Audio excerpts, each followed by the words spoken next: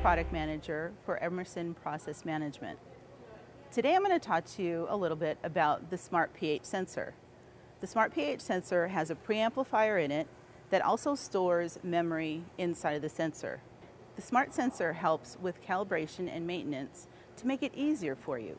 For instance, if you have 10, 20, even 30 pH sensors to calibrate, would you like to carry out all of your buffer solutions with your buffer cups and a rinse bottle, or would you just like to carry out all of the sensors to plug and play? That's what the advantage of the smart sensor is. Let me tell you a little bit more about the smart sensor.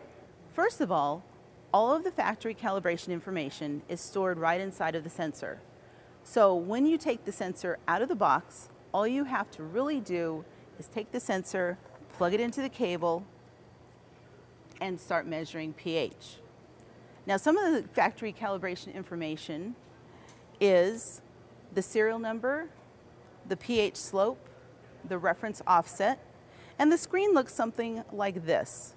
Subsequently, when you have to do more calibrations, all of the information is stored in the instrument and the screen would look something like this.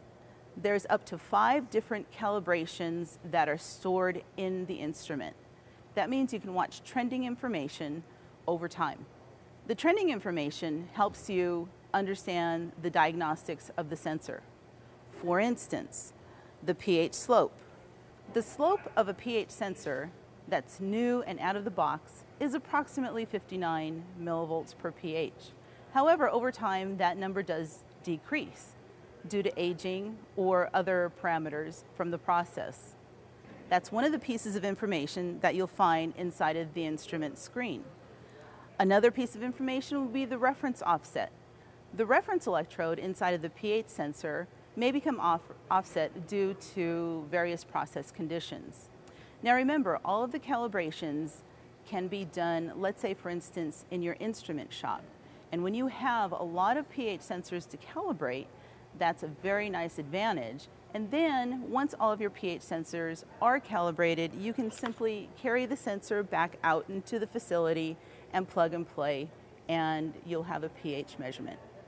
Thank you very much and you can find out more information on our website at rai.com which is our liquid analytical website for Emerson Process Management. Thank you.